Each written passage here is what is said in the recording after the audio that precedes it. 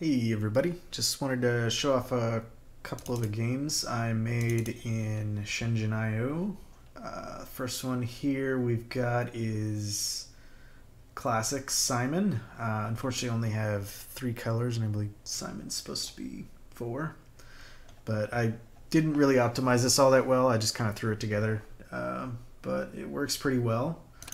Uh, we generate, so green, so we generate uh, like, and you can totally cheat if you look down here. Um, but we generate a bunch of random lights using this little chip here. And so we got one right, so now it'll generate, or it'll use the same table to do two. We got a little score tracker here. And then if we fuck up uh, and do something wrong, we get a different tone, and then after a few seconds it resets our score. And then it'll also keep track of your score, like if you surpass um, the ones you generated here, it'll generate a whole new set, and it'll keep your score, and you can keep going, and it'll play a little victory tune. So I'm gonna actually like cheat a little bit here. Um, bump that down from 14 total to 4. So we can do like a little full game here. So like green,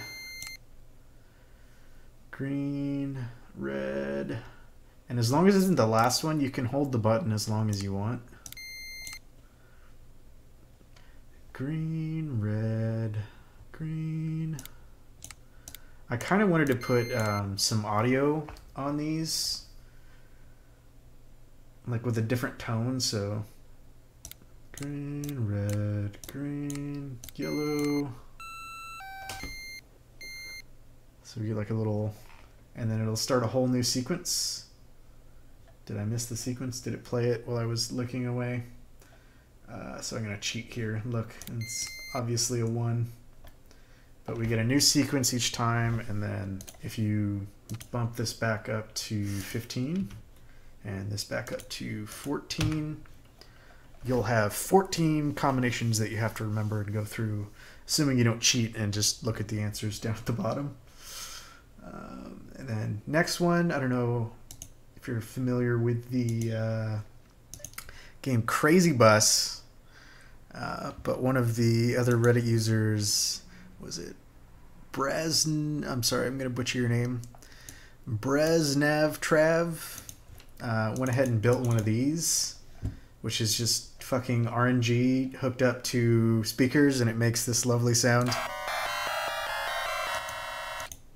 And so that kind of inspired me to do Crazy Bus. Um, I don't, I don't know if how many of you are familiar with it, but um, it has the most wonderful music. First of all, and this is a this is a pretty honest recreation of the music. So here, let me um, I'll go ahead and play the actual Crazy Bus title screen for a little bit here. Hopefully you don't get too annoyed with me. But it's fucking rocking, man. This listen to this. It's amazing.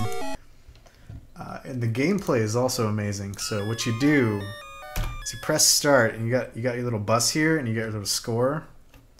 And then you can hold right and your bus will move and this is a this is a faithful recreation here. Um, your bus will move, then when it hits the end of the screen, it comes back on the other side, and your score increases.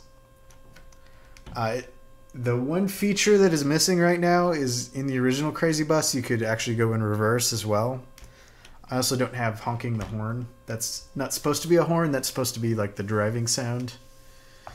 Um, but you could go in reverse, and if you did that at the very start of the level, it would your uh, your score would underflow to the maximum score. So that was like the way to get the top score on Crazy Bus was not not to hold uh, hold right for an hour, but to actually, you know, reverse for one second. Anyway, I uh, just thought I'd show those off. Uh, hope you guys enjoyed them as much as I enjoyed making them. I just kind of threw them together. Not, they're not super optimized. Like I'm sure if I reorganize this layout, I could probably do something cool, like maybe I don't know, throw an AND gate or something on these outputs, and then um, if any you know any button or anything is being held down, you know, it'd play a tone or something so that it's a little bit more like the actual Simon. I think it played sounds. I don't know, but um, that's it. Catch you guys later.